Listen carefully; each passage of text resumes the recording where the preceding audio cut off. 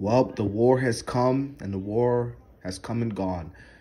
Welcome everyone to the AEW Winter is Coming review. This is your kid, DC Wrestling, back at it again with another video. And can I just say, man, this was an amazing AEW Dynamite. Well, you can't really call it AEW Dynamite, but a very special edition of AEW Dynamite, man. This was a really good um, show, especially with the main event. We're going to get into the main event, but we have to talk about the card. Um, first things first, I just want to say, man, shout out to all these wrestlers, man, and even the fans, man, the referees, everyone, because I literally checked the temperature that was at Daily's place, and it was saying that they were wrestling like 47 degrees of weather, and that is just respect, dude, because not a lot of people can legit wrestle in the legit cold and seeing these wrestlers half naked, literally wrestling, you know, in the fucking cold, man. Just respect, bro. So respect them wrestlers, man, because they didn't have to do that. I know I couldn't. Anyways, man, we ain't gonna waste any time here. We had the, you know, we kicked off the night with the Battle Royal for the AW Dy Dynamite Diamond Ring, MJF and Orange Cassidy. Um, um, obviously being the last two competitors. Um, Orange Cassidy obviously winning by eliminating Wardlow at the end, which means that next week on Dynamite, MJF and Orange Cassidy will face each other to see who would win the Dynamite Diamond Ring. I thought this was a pretty good opening, pretty good solid opening. Um, I actually thought for a second with the way Miro was dominating at the end, I thought Miro was going to be the one to pick up the win. But, you know, he wasn't. But this is pretty cool. Um, MJF versus Orange Cassidy. I think Orange Cassidy will win the diamond ring because MJF already has the diamond ring and he doesn't really need a second one. Like, what is he going to do with a second one? So, yeah, man, like, you know, that's my thoughts on the diamond ring match. So, yeah. Anyway, so the second match we have for the first time ever Chris Jericho versus Frankie Kazarian. Chris Jericho facing um, Frankie Kazarian near the end, um, MJF coming out looking to throw in the towel, which was a little reminiscent from um, you know Full Gear last year with you know MJF throwing in the towel for Cody, but um, Jericho you know didn't see it, and then you know obviously Sammy coming out um, to stop him, and Jericho questioning what Sammy's doing out there, and then you know Jericho obviously wins. Um, and what was a decent match, you know, even though the match was 10 minutes, it was decent, it was okay. They could have won a little bit more, but, you know, for, it was what it is, and it was a pretty good, decent match. After the match, the Inner Circle was pretty much arguing, which is kind of crazy because literally about almost a year ago, Jericho was talking about the Inner Circle never argues and we never fight. And here they are literally fighting, and, you know, Jericho was like, I'll give y'all seven days to clear your heads. And if we can't come to an agreement, basically, then the inner circle is done. The inner circle will be broken up forever, basically. And Jericho leaves the ring while the inner circle members are continuing arguing. The next match, Dr. Britt Baker, DMD, versus Layla uh, Hirsch. I just want to say this, man. So in my last video, um, my AW predictions, winners coming predictions, I said that Layla Hirsch is nothing but a jobber. You know what I mean? Because I never saw her fight before. And one of the people, one of the, uh, you know, guys that were watching my video, comment on the video was saying that, you know, this Layla Hirsch girl, she's not a jobber. She was um, on AEW Dark, man, and she was, you know, you should check her out. So, as the um, person that I am. I checked in AEW Dark. I saw that she had a match with the legit AEW Women's World Champion, Hikaru Shida. And I thought Layla Hirsch, maybe she isn't a jobber. She's pretty decent in the ring. You know, maybe she proves just a little bit, you know, she'll maybe have a little bit of potential. So I take back for what I said uh, last time. Um, and I'll give it, you know, you know, like he, like the dude said, Layla Hirsch had a chance in this match, and yes, she lost, but they at least gave her a fighting chance. At least they made it seem like she was gonna be um, beat Britt Baker DMD. After the match, um, obviously, um, Thunder Rosa coming out attacking Britt Baker, obviously conti continuing their feud. Um, obviously, like I said, they're most likely going to be facing each other at AEW Revolution. I believe, in my personal opinion, I think that's where they're going to face off. So yeah. Um, but what it worth, it was it was okay. I'm it was meh to be honest with you. I mean, that's kind of what most of these matches. It, it wasn't until the main event, you know what I mean? Like the matches were weren't bad, but you know they could have been maybe just a little bit better. But with the time that they had, obviously, you know, with with the Moxley and Omega match, because it was being built as the biggest match on the card, the biggest match in AEW Dynamite history. You know, hell, this whole event was labeled as their biggest dynamite yet. And with the shit that happened, especially coming what I'm about to talk about next, I can see why they said this was their biggest dynamite yet. Next, we have a tag team match. We have Darby Allin and Cody Rhodes defeating Team Taz. And um, I said in the predictions I wanted Team Taz to win.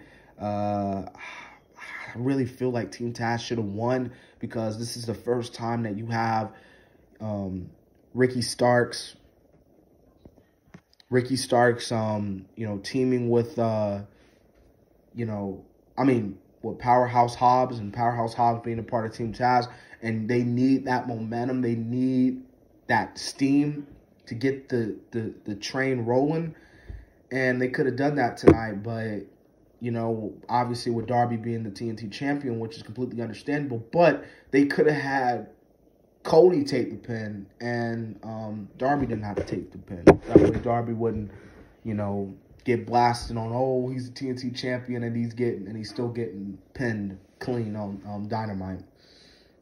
But the big thing was not really the match. I'm be perfectly honest with you.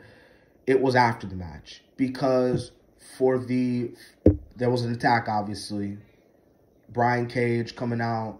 Um, obviously, um, Dustin coming out. But the big thing, I think one of the biggest things of this night, was that for the first time ever since the final episode of WCW, the Stinger, the icon, one of the greatest WCW wrestlers of all time, former WCW World Champion, WWE Hall of Famer, the icon, the legend, Sting, debuted on AEW, and and as they the announcer said, Sting has signed a multi-year contract with All Elite Wrestling. Sting is All Elite with All Elite Wrestling, and you know you could not wipe the smile off my face the moment that I saw Sting show up in AEW. Um, you know, it's good to have Sting in, in AEW. I think this could be really good. This could potentially get some more eyes on AEW because it's it's Sting. I mean, who wouldn't want to tune in to watch Sting? I mean, come on, people. Um, obviously, you know, there's gonna be people that's gonna be like, well, Sting is a is an ex WWE. Come on, come on. Let let let's not come on. Let let Sting have his moment here. But anyways, bro. But but for real here, in all seriousness, um, I said before, well, I knew Sting was coming. I just didn't think it was going to be tonight. I actually thought he was going to show up with full gear, but he didn't. But um, I said that, you know, Sting being paired up with Darby, I didn't think Darby needed that manager um, because Darby, you know, is himself, but I'm willing to give things a chance. I think, you know, what, what stuff happens, you have to be willing to give things a chance. And if Sting is going to be Darby Allin's, you know, henchman, well, manager, you know, his boy, then I'm guessing that I'm willing to give it a chance. But if it doesn't go right and it doesn't go well, then I'm be like, man, just put Sting backstage to coach or something. Because I know everyone's talking about how old Sting could wrestle. Well, Sting hasn't wrestled since Night of Champions. Sting is retired. Sting can't wrestle anymore because of what happened. Because Seth Rollins buckle bombed him, buckle bombed him. But I'm not going to get into all that great debut. Well, not for the TNT network because last time Sting was on TNT was the final episode of WCW and he fought Ric Flair. And it's crazy because he fought Ric Flair in the final match WCW and they were literally the first match on WCW. So I find that pretty well. Um, the main event Jon Moxley versus Kenny Omega for the AW World Championship. Kenny Omega winning the championship. Um, I kind of find it quite funny. Many people were actually thinking that Omega, well, Kenta from New Japan, because Kenta has the briefcase for the um, IWGP United States Championship, which is being held by Moxley. And people were actually thinking, because Kenta even tweeted out himself that he might be showing up tonight. And people were legit thinking he was going to show up, but Kenta was just trolling because everyone wants to see New Japan and AEW. And we're most likely not going to see that. But I will tell you what we're going to see after I talk about this match because this match was legit amazing. It was absolutely amazing. Bell to bell, post to post. Um, I know some will argue and say their match in Full Gear was way better, which is totally understandable. But this match, for what it was worth, it it really did good, and you got to give them credit because they legit, in some people's eyes, even lived up to the build. Um, having Kenny go over was the right call. Um, having Don Callis on commentary, having Don Callis there, you know, and especially with him, you know, with Moxley, it was like, what the hell is he gonna do? And then when Kenny won, when he beat Moxley, you know, you're ha- you have Don Callis celebrating, you know, celebrating. Yes, yes. And they're leaving the arena. Tony Khan's pissed. The announcers are pissed. The wrestlers are pissed. Kenny and Callis are leaving. Alex Marvez, I think that's the interviewer's name, comes up to Omega and and and Callis, and he's telling them, "Yo, like, what's going on? Like, what, what's happening? What what happened there?" And Callis is like, "I'll explain it on Tuesday." But the commentators and and, he, and I think even um, Alex even said, "But but Dynamite's Wednesday. What do you mean Tuesday?" And that's when he said, "We're showing up on Impact." Ladies and gentlemen, Kenny, it's gonna be so funny because Omega, they're gonna be like, "What in God's name is Kenny Omega?" doing in the impact zone. You know what I mean? But yes, people, I'm not shitting you. I'm not clickbaiting you. Kenny Omega next Tuesday night will be showing up on Impact Wrestling, which you don't even have to say it. You don't even say that, oh, it's rumored, it's being speculated. No. You don't even have to spoil it because this right here is a stone cold fact. AEW and Impact Wrestling have a working relationship. Now, I know some will be like, Impact Wrestling, who the fuck they got over there? Think about it. Impact's got some good talent over there. You got Deonna Purrazzo, you got The North, you got the Good Brothers, you got Sami Callihan, you got Eric Young. You got some decent talent over there. Impact's not bad. Impact's not bad as many people think they are. And if you think about it, this can help Impact as well because people are going to be tuning in to Impact next Tuesday mainly to see, oh, what's Kenny going to say? What's Kenny going to say? What's Don going to say? What, what happened? You got to watch it. You can't watch it on Dynamite. You got to watch it on AXS TV.